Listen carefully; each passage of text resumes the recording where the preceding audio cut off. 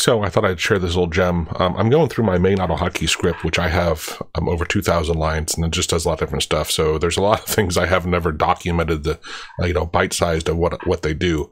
Um, this script in particular, I put it into its own file, but it uh, when I press down on my middle mouse button, it'll bring up my Alt Tab menu, and I can scroll and go to what I want and select it, and then it's back to being the middle mouse scroll.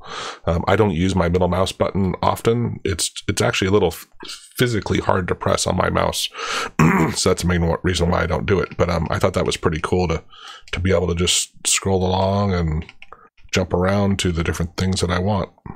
Um, I don't even have to, you know, I can scroll this way and just click the middle mouse and it drops me onto that program. So I think that's a that's a pretty cool little script. Um, if you want to read more, because some of this, I was going to switch to it. Now let's uh, use this tool, right? Um, on on these Alt Tab menu, um, you can get it here at this URL, which I'll try to remember put into uh, the uh, description or on the the page where I share the code. But it uh, this Alt Tab was interesting because the Alt Tab and Alt Shift Alt Tab and Alt Tab these are not very common. I think well known um, functions. No, it's not a function, but I'm trying to think of the right term for it. Parameters that you can use in AutoHotkey or variables or whatever they happen to be. So anyway, hope you enjoy that. Uh, cheers.